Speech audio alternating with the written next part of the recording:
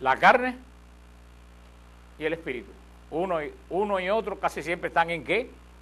En guerra y en, y en oposición. La carne tira para un lado y el espíritu tira para, para otro. Y bendito sea Dios que, que, se da cuenta que el espíritu tira para otro, porque si te das cuenta que el espíritu tira para otro lado, que ya tú tienes el espíritu de Dios. Pero hay personas que ni siquiera tienen el espíritu de Dios. ¿Y qué cosas son? Carnal. Ahí sí están, tú dirás, ay, porque mal estoy. Estás mal cuando hay gente que tienes que estar mal. Si el mal está aquí, hay millones y millones de personas que ni siquiera todavía se han dado cuenta de, esto. Y no estoy hablando de paganos, de bután, estoy hablando de gente que van a misa todos los domingos con nosotros. Y no tienen la menor idea de lo que estamos, de lo que estamos hablando. San Pablo dice que hay dos tipos de personas, de ser humano y sobre todo de creyentes, que es lo que está hablando San Pablo. El que vive en la carne, el que vive en el Espíritu. Y cuidado que uno no vaya a decir, no, pero si ya yo pasé un seminario de vida en el Espíritu, recibí la fusión del Espíritu Santo, voy a un grupo de oración, oro en lengua, levanta las manos. Conozco gente que hacen todo eso y son carnales. Ser carnal no es levantar las manos ni hablar lengua. Hablar lengua no es signo de santidad, es un don de, de Dios. Es más que tú puedes sanar un paralítico y puedes resucitar un muerto y seguir siendo carnal. Porque eso, los dones que da Dios no lo da porque tú eres bueno, lo da porque tú los usas. Pero San Pablo dice bien claro, y como lo dice el Señor, por sus frutos, ¿qué cosa? Los conocerán, por sus frutos los conocerán. Y San Pablo dice, ¿cómo vamos a conocer la gente que son carnales? Dice ¿Y cómo vamos a conocer si somos carnales? Dice San Pablo. ¿Cuáles son los frutos? ¿Qué es lo que da la carne?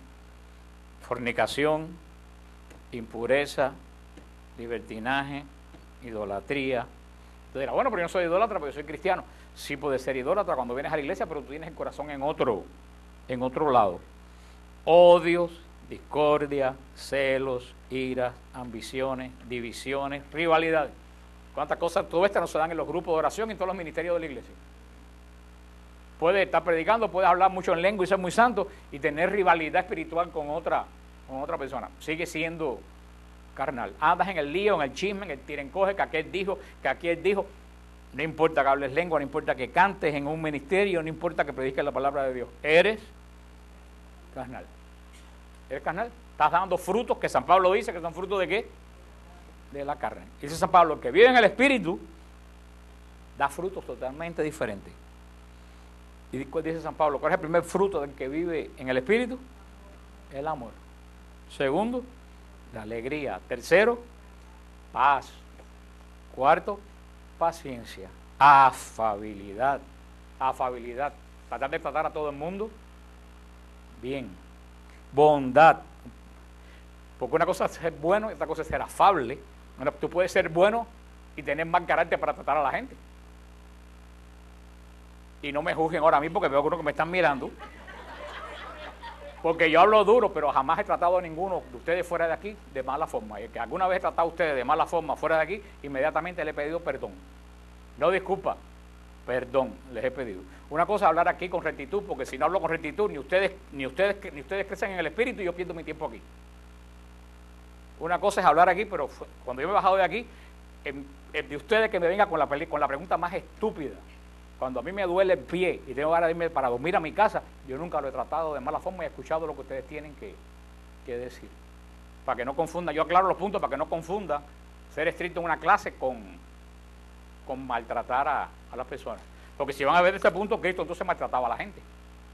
Cuando le decía sepulcro, blanqueado y por dentro de una podredumbre. Una cosa es decir las cosas para que la gente tenga un mensaje y otra cosa es el trato personal inclusive con los protestantes. Yo combato a los protestantes con todo lo que puedo, pero yo no veo en ellos mis enemigos, yo veo en ellos un hermano mío que me está tratando mal a mí, que está todo defender mi punto de vista. Y eso es uno de los puntos de la apologética. Tú no puedes ver en una persona que tú estás dando apologética, tú no puedes ver tu enemigo.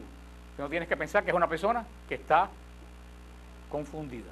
Ese es el principio de la, de la apologética. Pero esos son los frutos que da, que da la paz, que da el Espíritu Santo, que da los que viven en, en el espíritu. Y entre el espíritu que recibimos y muere nosotros y la carne que ya traemos, que es lo que se forma continuamente, un conflicto. La carne ala. Mire, hermano, te voy a decir, y cuidado, hay que tenerle, a la parte carnal tiene, hay que tenerle puesto el ojo, porque tú puedes ser espiritual 40 años y en un minuto se te sale la parte carnal. No es algo que tú digas, ya yo me gradué de, de espirituales, ya yo no tengo... Ay, hermano, cuidado, porque cuando menos tú te lo imaginas, se te sale la, la carne, pero con una facilidad, pero que ya camina en el espíritu y se le sale la carne, ¿qué es lo que hace? Pone la alarma, te dice, oye, el espíritu te redarguye, oye, lo que hiciste está mal. Y tú enseguida frenas y dices, wow, mira lo que acabo de hacer, más vale que rectifique. Los que no viven en la carne siguen diciendo, no, pero si yo tengo razón, si lo que yo dije, yo tengo la, la razón y lo que está formado, la culpa es de fulanito, no es de ese que sigue viviendo en la, en la carne, cual al espíritu no lo redarguye.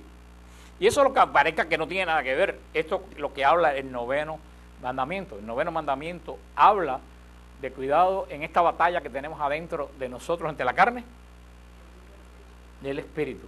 No te confíes en que yo soy muy bueno, que yo sé mucho, que yo hay que estar continuamente encima de, de la carne, porque los actos que hacemos, y generalmente todo el mundo se fija en lo que hacemos, pero como les dije al principio, muchas veces de lo que hacemos comienza por un deseo que hemos dejado crecer.